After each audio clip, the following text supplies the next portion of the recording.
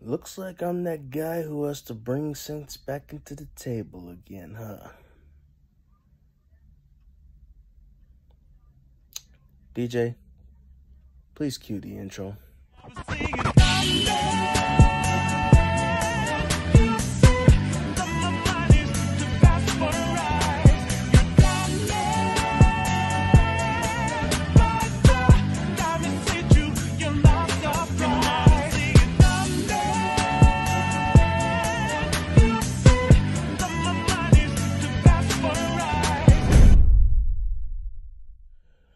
Good, ladies and gentlemen? It's the Afro Roni himself, Samurai Black Zack.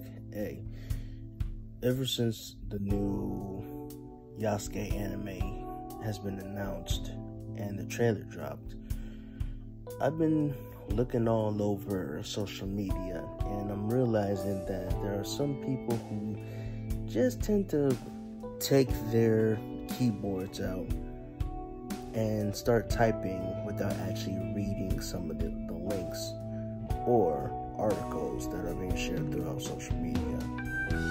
And most of those articles say Yasuke. We will look at a his brief history, or should I say,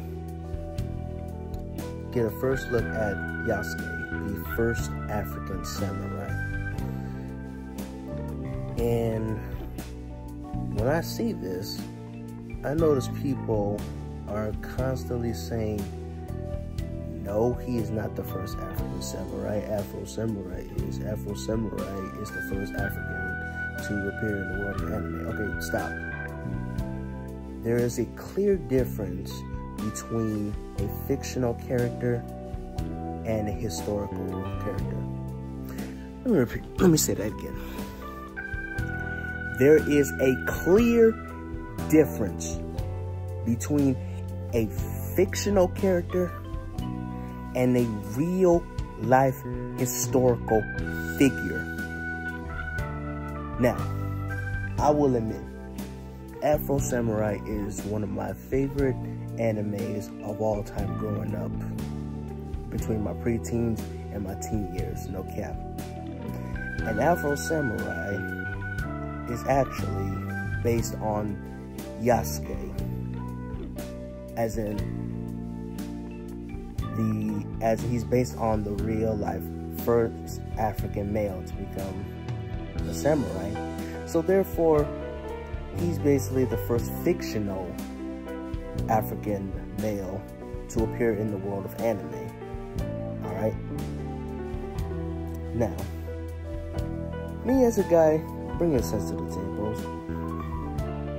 uh, yeah, bringing sense to the table.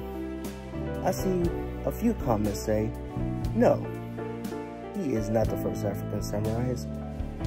Afro Samurai is the first African samurai. And here I come with my sensible glasses telling them no. Yasuke, this is the Yasuke the anime is telling a story about the first real life African man, man who went to Japan as a slave under the Italian Jesuits, taken in by Oda Nobunaga after realizing that his skin color was not hot dirt and the fact that his dark skin was his real skin, takes him in, gives him money, a home, and a katana, and gives him the rank of the samurai. Now that is one of the most notable and honorable things to happen in, Jap in Japanese history, no cap. So no matter where you go, there are going to be people who say stupid, write down, I won't say say because people, I don't really know who these people are and what they sound like. Type, that's what I should say. Type down random stuff into the comment section and think, think, think that they're right, when in reality, they're wrong. Also, when I first saw the first, the, the first uh, Yasuke anime trailer, some idiots Okay, before I get to the idiot part, I wrote down the comments saying, yes, yes, finally, a historical figure gets to be in the world of anime for the first time ever. Right? Then all of a sudden, this idiot said that's because Yasuke was a fictional character created by Hollywood.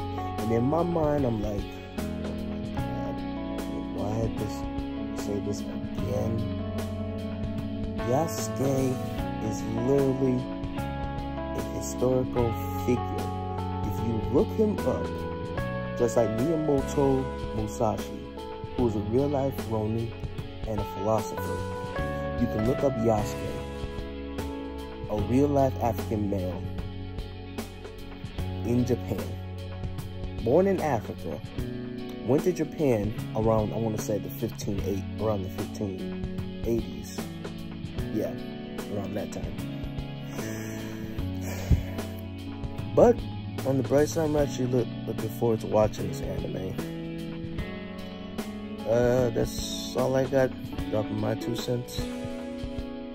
Have a good day or have a good night, y'all. Stay safe and peace out.